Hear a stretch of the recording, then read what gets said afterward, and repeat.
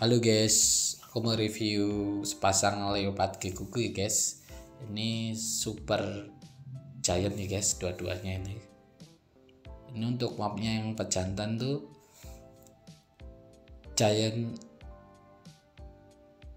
bell albino trample ya guys. Tapi kalau yang betina ini giant trample strip albino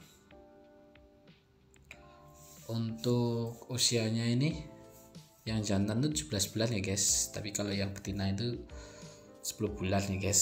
Dan ini sudah produksi yang pertama ya guys.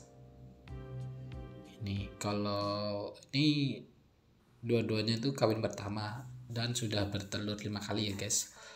Dan setiap bertelur itu dua kak dua butir ya guys. Tapi telur pertama sama kedua itu zong ya guys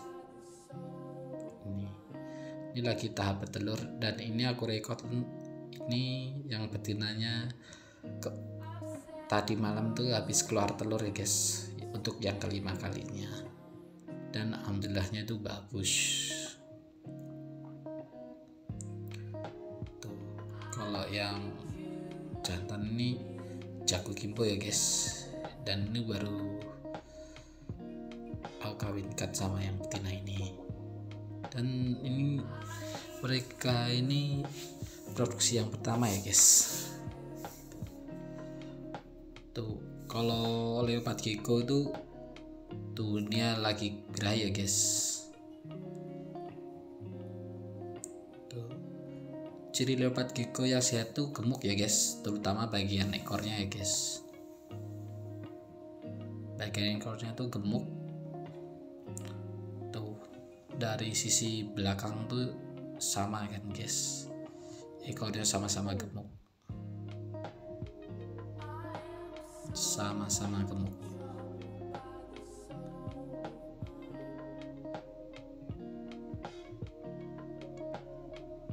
Dan untuk pakannya ini aku menggunakan full jangkrik ya guys.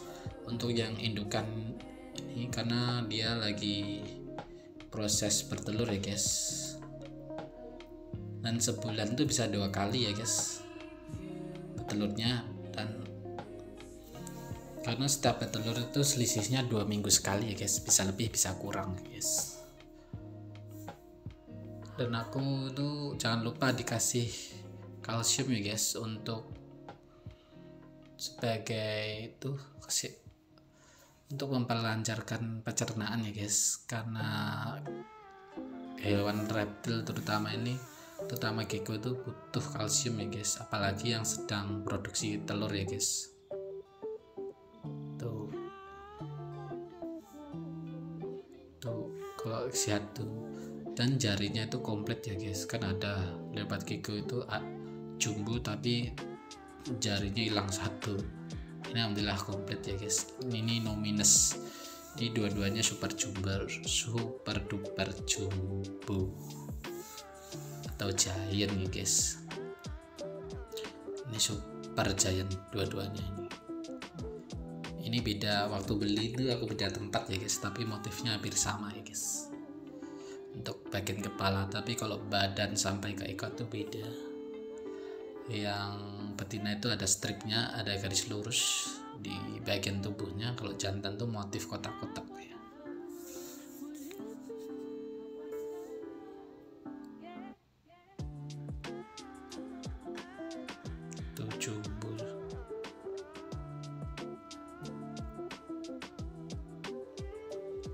dan kalau aku salah menyebutkan mobnya komen ya guys. Jangan lupa di subscribe biar semangat buat channel youtube ya guys. Dan tambah-tambah wawasan tentang leopard kiko ya guys. Ini aku juga pemula pelihara ini ya guys. Dan aku coba untuk coba-coba untuk breeding ya guys. Siapa tahu berhasil Nah, meskipun sudah mengeluarkan telur sebanyak lima kali dan dua-dua masih tetap gemuk ya guys. Tapi ini waktu awal-awal aku apa ya guys? Waktu awal sebelum telurnya keluar maksudnya masih gendong telur ini lebih lebih jumbo dari ini ya guys. Untuk si betinanya ini. Karena semakin keluarnya telur tuh semakin lembatnya kurus ya guys tapi ini masih kelihatan jumbo ya guys. Jumbo ekornya itu juga jumbo.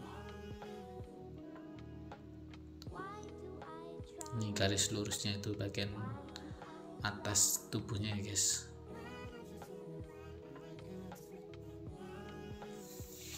Kalau yang jantan ini usia sudah 17 bulan ya guys rahasia kunci biar jumbo itu pertama itu dari keturunan ya guys. Kalau turunannya giant ya mas otomatis giant ya. Tapi gak tahu ya besok anakannya ikut giant atau enggak karena ini aku kawinkan giant sama giant ya guys. Biar jadi super giant kayak induknya sama pejantannya. Ini super giant ya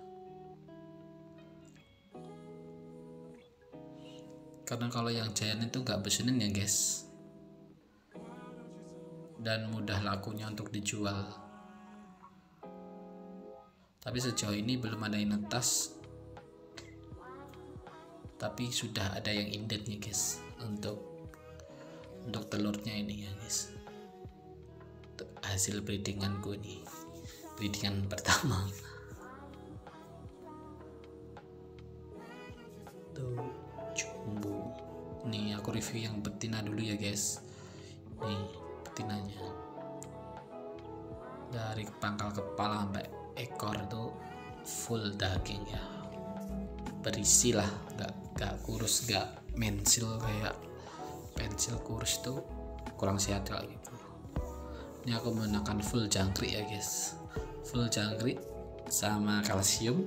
Kalsiumnya aku dari sotong tuh guys. Aku gerus dan ku ayak pakai saringan teh itu. Nih jumbo kan. Padahal ini sudah bertelur lima kali ya guys. Dalam satu periode ini. Dan jarinya itu panjang-panjang ya guys. Dan semuanya jarinya itu komplit ya guys. Gak ada yang putus. Untuk matanya itu mata ular ya guys. Mata snake tuh ini mapnya itu giant tramper albino ya guys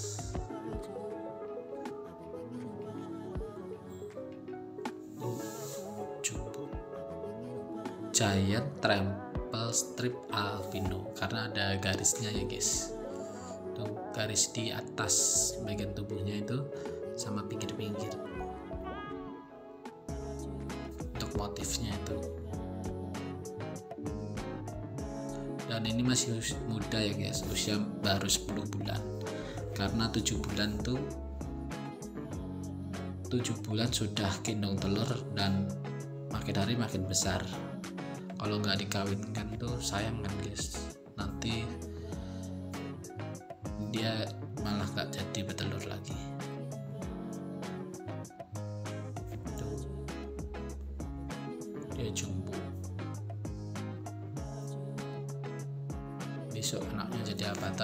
ini belum ada yang menetas ya guys.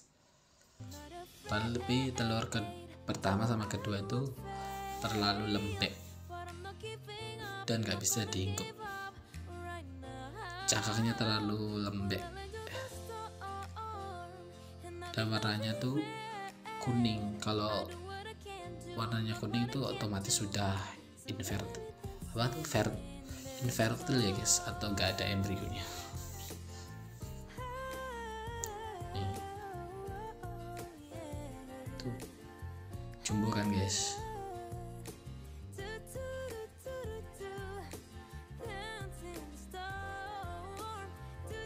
dan jangan lupa ya guys dikasih kalsium. Karena kalsium itu membantu pembentukan telurnya ya guys. Kalau nggak dikasih kalsium nanti kurus. Karena buat produksi telurnya ya guys. Dan ini aku review yang jantan nih guys. Telurnya eh ekornya tuh motifnya kayak buaya ya guys. Ini juga motif matanya ya guys motif ular.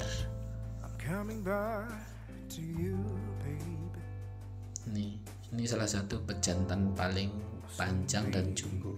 Kalau panjangnya itu sama sama yang sebelum yang hack yellow yang sudah aku review tadi. Tapi kalau jumbonya jumbo ini panjangnya sama tapi jumboan ini kalau gecko jumbo atau ini panjangnya ya guys itu kelihatan 25 cm ya padahal itu 26 kalau posisi lurus ya guys. Karena susah dilurusin ya ya udah gini aja. Tuh jumbo guys motifnya juga bagus ya guys. Ini aku gabungin lagi ya guys. Siapa tahu mau kawin lagi kan kan ini sudah lima kali bertelur ya guys dalam satu periode ini.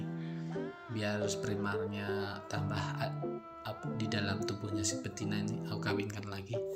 Biar telurnya nanti fertile ya guys atau ada embrionya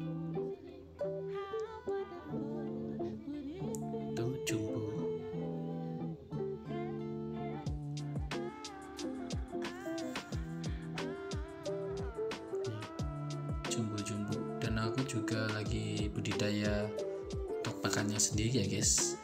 Aku lagi budidaya coba Dubai ya guys biar biar mixing pakannya biar gak jangkrik melulu ya guys. Biar biar ada variasinya biar gekonya gak bosen ya guys. Tapi kalau yang lagi produksi telur ini aku full jangkrik ya guys. Full jangkrik aja sama kalsium sama air cuman itu.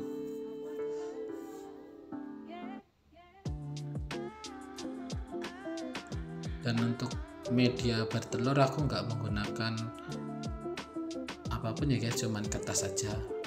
Kemarin aku menggunakan itu guys media bertelur pakai cecopet itu. Lihat-lihat dari YouTube juga. Itu malah telurnya itu malah kotor ya guys. Malah kotor dan lembek jadinya. Nggak tahu mungkin kebanyakan air atau apa. Dan pastinya telurnya kotor. Dan aku pakai terus aku ganti pakai pasir. Dan ini guys ini juga pirai lagi. Dan aku mencoba untuk pakai apa ya? Dolomit guys. Pasir dolomit. Malah telurnya itu kempes ya guys. Malah kisut atau kempes itu guys dan malah jadi gak gak bagus untuk di apa itu? Malah gak malah lembek jadinya lah kempes banget. Gak mengembang. Kan telur kalau dimasukin ingkup tuh kalau yang bagus tuh makin mengembang makin ada isinya kan warnanya makin putih terang gitu. Dan kalau pakai telur aku malah zong ya guys telurnya. Terus aku nggak pakai media untuk bertelur cuman aku pakai media ingkup tuh pakai pasir perlet perlet aja. Jadi aku kalau media bertelurnya itu cuman pakai alas alas kertas saja dan ini guys si jantannya birahi tapi si betina nggak mau dikawin nih guys. Karena semalam habis keluarkan telur mungkin nanti atau sudah empat hari setelah bertelur ini aku kawinkan lagi. Karena aku ini guys. Karena aku satu jantan satu betina ya guys.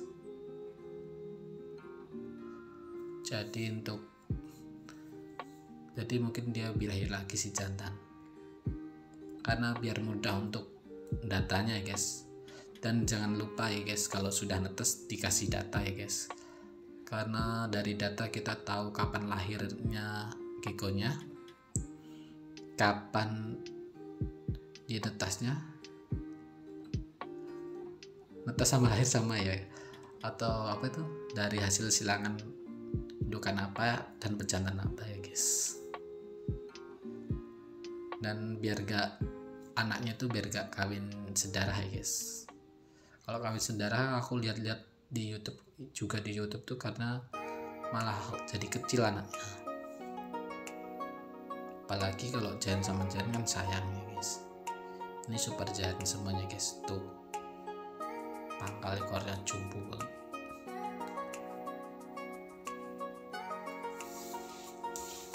Jumbo ini guys.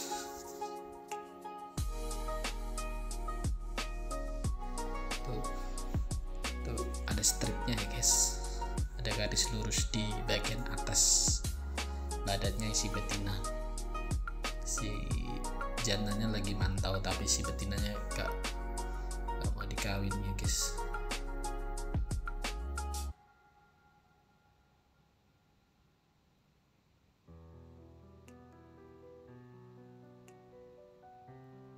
Ini lagi produksi.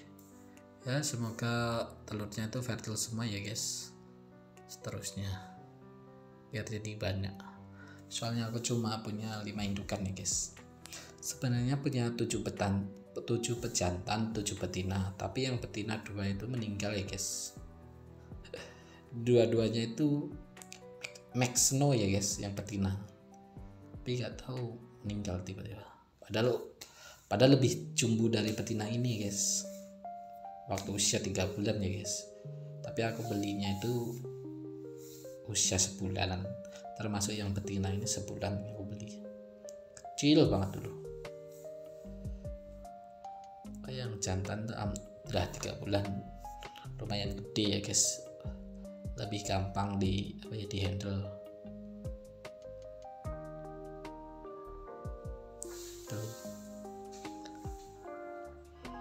dan ekornya itu buat menyimpan cadangan makanan guys karena lebat gigo itu nggak makan setiap hari ya guys. Jadi kalau kurang pakan dia akan menyerap bagian ekornya guys.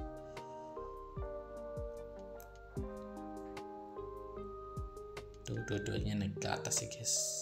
Ini aku pakai background nih guys. Ala-ala backgroundnya itu pakai pakai batu-batu akuarium ya guys. Ini sebenarnya buat akuarium ya aksesoris akuarium ya guys ini aku buat ala-ala konten nih guys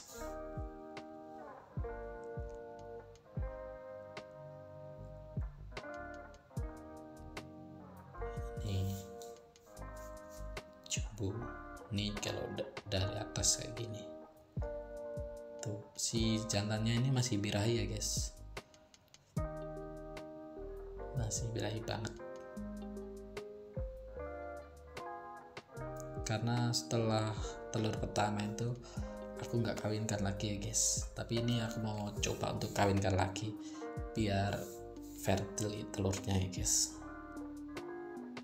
Biar jadi semua dan telurnya ini jumbo-jumbo. Setiap keluar tuh dua tapi jumbo semua. Jumbo semua.